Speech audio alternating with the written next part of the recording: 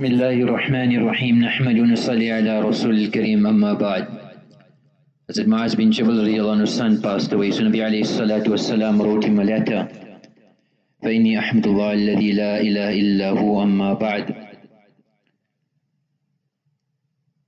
And he instructed him and he told him that may Allah subhanahu wa ta'ala multiply your reward وَأَلْهَمَكَ الصَّبْرِ and may Allah subhanahu wa ta'ala grant you tawfiq to make sabr and be patient وَرْزَقْنَا وَإِيَّاكَ الشُّكْرِ and may Allah subhanahu wa ta'ala give me and you the opportunity to be grateful to Allah ثم إن نفوسنا وأموالنا وأهلنا وأولادنا وأموالنا من مواهب الله الهنية Remember O Mu'adh, your soul, your wealth, your family, your progeny, all your belongings are a gift of Allah subhanahu wa ta'ala which is a trust and an amana.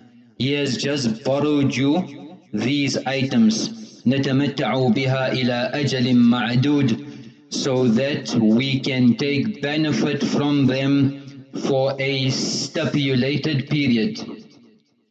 And Allah subhanahu wa ta'ala will take it away لِوَقْتٍ مَعْلُومٍ on the designated time. ثم افتقر الله علينا الشكر إذا أعطى and Allah has made it compulsory for us to be grateful to Him for every bounty and ni'mat that He showers on us. وَالصَّبْرُ إِذَا ابْتَلَى And to be patient when any difficulty, hardship, calamity befalls you. وَكَانَ ابْنُكَ هَذَا مِنْ مُهَائِبِ اللَّهِ الْهَنِيَّةِ Remember, the son has departed from this world is amongst the gifts from Allah subhanahu wa ta'ala and an amanat which Allah subhanahu wa ta'ala had given you an opportunity to benefit from. And he's departing from this world bi ajrin kabirin in sabarta wahta sabta. And your reward will be multifold on condition that you are patient on this difficulty and you are hopeful of reward. So do not let your rewards be destroyed through your fears فَتَنْدَمْ عَلَى مَا فَاتَكَ And you become grieved and stress on your loss. Because this is an amanat from Allah subhanahu wa ta'ala, do not grieve because then you will wipe out and erase all your rewards. فَلَوْ قَدَّمْتَ على ثواب مصيبتك عرفت أن المصيبة قد قصرت عنهم and if you had to see the rewards that Allah would bestow you upon this difficulty, this hardship, this calamity, you would have known and you would have believed that this calamity was a drop in an ocean. It was still too small. You would have wished for more calamities to befall you if you had to see the reward which Allah would bestow you in the future.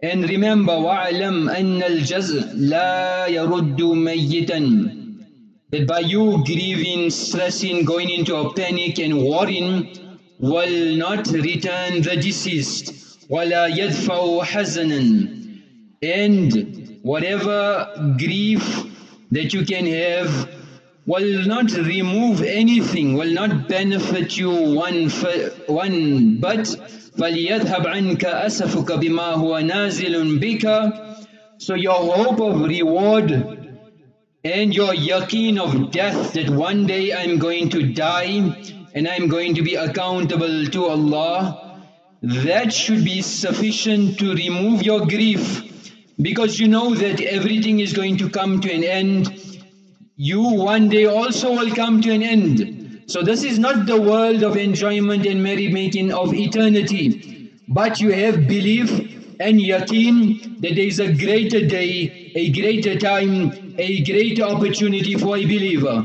And we have come temporarily in this world.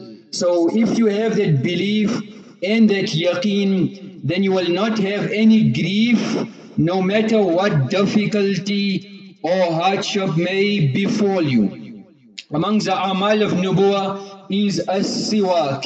Shifa'un min kulli da'in illa sam. Utilizing the miswak is a cure, a remedy from every sickness and disease. Illa sam, except death. So we have done and highlighted the benefits of the miswak. Nabi alayhi salam was so particular when he seen Sahaba address him, Mali arakum tadkhulun alayya qalhan istaku. What is wrong with you? I see there's some yellowness in your teeth. Utilize the miswak often. We hear many uh, stories, incidents where Sahaba were in battle and they were suffering loss. We have not come across any riwayat it is some mention of Abdullah ibn Mubarak. The closest that we have come across was uh, Tabari has mentioned where Rustam sent the spy and he noticed Sahaba utilizing it in whenever they were performing salat, wudu, going to sleep, etc. So when the spy returned and Rustam inquired what was their means of sustenance, what should they eat? So he replied, I have no knowledge of them eating anything except a stick which they suck on morning and evening all the time. So we find that the benefits of the miswak is multifold. Ibn Abbas used to say, it cleans the mouth, وَيَجْلُ الْبَصَرِ It increases the eyesight, it strengthens the gums, وَيَطِيبُ الْفَمِ it removes phlegm وَتَفْرَحُ لَهُ الْمَلَائِكَةِ The malaika get happy and elated وَيَرْضَى الرَّبْ Allah becomes pleased وَيُوَافِقُ السُّنَّةِ And you are conforming to the sunnah وَيَزِيدُ فِي الْحَسَنَاتِ And it increases your amal and your actions and your rewards in salat وَيَصِحُّ الْجِسْمِ And it is a means of cure and shifa and strengthening of the body. In other narrations, وَيَزِيدُ الْحِفْظِ It increases your memory capacity. وَيُنْبِتُ الشَّعْرِ And it stimulates and aids in hair growth and it brightens the complexion. Sayyid Musa ibn As'ad has mentioned the benefits of miswak and he says that it makes one wealthy man alayh on condition that a person is perpetual of utilizing the miswak, it will make you wealthy. وَيَتُرْدُ وَسَائِ وَالشَّيْطَانِ And it repels the whispering of Iblis. وَيَفْسَهُ اللِّسَانِ It enhances the eloquence of a person's speech and it aids in digestion of food. وَيُبْتِعِ الشَّيْبِ It even delays the aging process. وَيَشُدُّ الظَّهْرِ it strengthens your back, it is a assistant and a friend in the qabr, وَيُوَسَّعُ لَهُ فِي قَبْرِهِ and it is a means of your qabr expanding وَيَزِيدُ فِي الْعَقْلِ it enhances intelligence and intellect وَيُذَكِّرُ الشَّهَادَ عِنْدَ الْمَوْتِ and it makes talqeen and reminds a person of the shahadat during the pangs of death, when a person is in their last moments of life, it reminds one of the kalima. وَيُسَهِلُ خُرُوجَ الرُّوْ مِنَ الْبَدَنِ And the ruh departs from the body easily. وَيَذْهَبُ الْجُوعِ And it removes hungerness. وَيُنَوِّرُ الْوَجْهِ It's a means of brightening the face. And it removes headaches, it removes the harmful effects of body fluids, it brings out the mucus in the respiratory tracts. So there are many benefits. Scientists have listed also numerous benefits of utilizing the miswak. The fact that my Nabi used it should be a good enough motivation. Then Allama Aini and other ulama have mentioned the dua, Allahumma tahir fami, O Allah cleanse my mouth, wa nawwir qalbi, Allah brighten, illuminate my heart, wa tahir badani, O Allah cleanse my body, wa harrim jasadi ala nar, and Ya Allah protect my body from the fire of Jahannam. Hazrat Ali radiallahu anhu say that the, the benefits of the miswak, amongst them three things improve the memory. One is utilizing the miswak, one is fasting, and one is tilawat of Quran. Imam Shafi rahimahullah used to say four things improve memory. One, abstain from useless speech. Two, miswak. Three, spend time with the pious. Four, practice on knowledge. Ibrahim Nakhai said six things. He was the Usad of Imam Abu Hanifa rahimullah. Increase the memory. Eating less, sleeping less, tilawat of Quran, salah in abundance, making a new wudu for every salah, and utilizing the miswak. When you utilize the miswak, it should be held in such a manner that the small finger and thumb is below the miswak and the remaining fingers above the miswak. If we look at the type of miswak that we should utilize, then these miswaks which are not permissible, they are harmful and poisonous. Pomegranate, bamboo, rayhan, etc. So Nabi alayhi forbade the use of rayhan miswak as it causes sickness, juzam. But these are the recommended ones. One is pilu tree which is known as the arak or Salvadora persica. On the priority list, number one. Number two, zaytun or as well known the olive. Number three, beetum. Number four, any butter one. And number five, walnut tree. The best of miswaks is the pilu and then the olive, Kabir is mentioned. So the pilu tree, which the scientific name Salvadora persica, Hazrat Aisha radiallahu anha says Tuwfiya Rasulullah sallallahu alayhi wasallam fi bayti when Nabi alayhi salam was departing he passed away in my house on my lap فاستن بها كأحسن ما كان مستنا The riwayat is long but in short he made miswak properly he made miswak properly before he passed away Hazrat Imam Shawqani said ويستحب أن يستاك بعود من arak. So the arak tree, it is mustahab and preferable to utilize it. Ibn Asad's narration says, Nabi alayhi salam presented me with a miswak of the pilu tree and he said, use the miswak of pilu. Ibn Masud riwayat always kept a stockpile of the arak miswak for Nabi alayhi salatu wasalam. In Muwaib it is mentioned that the companions of Imam Shafi were of the consensus also that it is mustahab to use this tree. In the absence of that, we can use the olive tree and نعم السواك الزيتون من شجرة مباركة What a wonderful miswak is the olive from a Mubarak and blessed tree يطيب الفم ويذهب and the benefits have been mentioned and it was siwaki was siwakul anbiya qabli I utilized the Nabi of Allah saying, I utilized the olive miswak and it was a sunnah of the Anbiya from the past. In the absence of that, the beetum tree where, when, where the narration in Muntakhab is mentioned this as well, of a butter tree. If a person cannot find any of this, then from any other tree which is available, which is not poisonous and is butter. Uh, otherwise, we can even use from a walnut tree. The adab of utilizing the miswak, it should be straight, devoid of roughness, should be clean, it shouldn't be too hard or too soft. And a person should measure like his hand span, one hand span, that should be the length, the thickness of a finger. Before utilizing the miswak, it should be cleaned, chewed, softened. And after we use the miswak and before. If a person has water available, otherwise afterwards, he should try to rinse it as well. The miswak should not be sucked. It should be placed in vertical position when possible and uh, when it is very dry then we should try to moisten it. We should try to moisten it.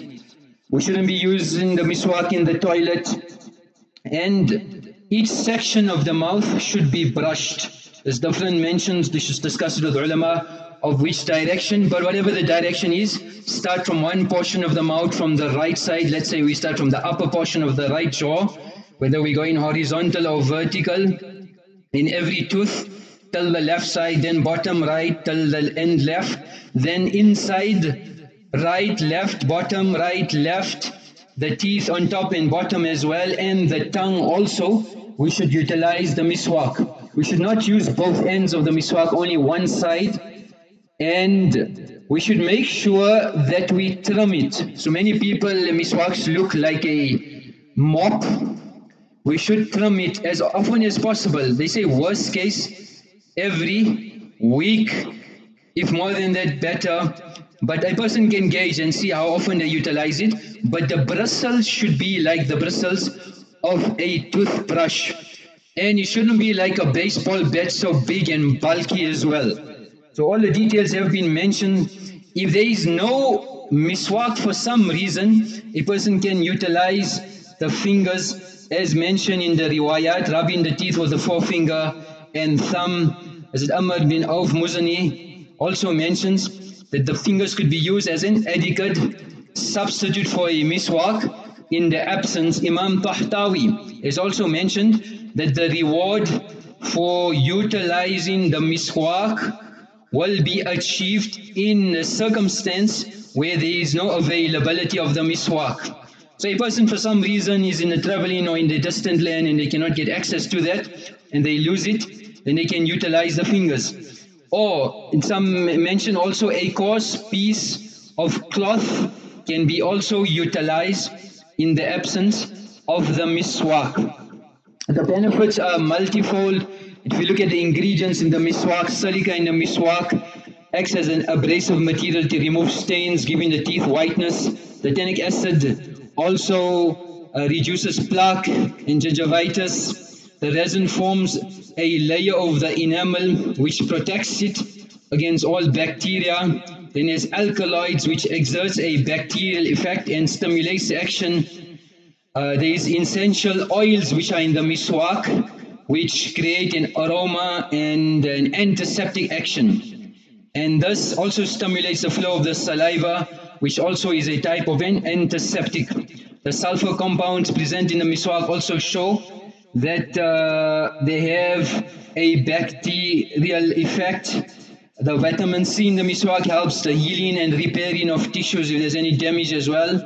Sodium bicarbonate has also uh, abrasive properties and uh, it gives it a germicidal action. Then there is a high concentration of chloride which inhibits calculus formation which helps removing stains from the teeth as mentioned in the riwayat. Calcium saturation of saliva inhibits and promotes remineralization of tooth enamel. So bacteria plaque uh, erodes, uh, erodes the enamel and this is a means of strengthening it. Then a lot of research has been done uh, in different aspects with regards to the miswak and data for that. May Allah subhanahu wa ta'ala give us tawfiq of making amal and realizing the value of utilizing the miswak. The amal for today is to read 33 times Subhanallah, 33 times Alhamdulillah, 34 times Allahu Akbar, La yakhibu qa'iluhunna. Whoever says these after every salat, they will not be unsuccessful.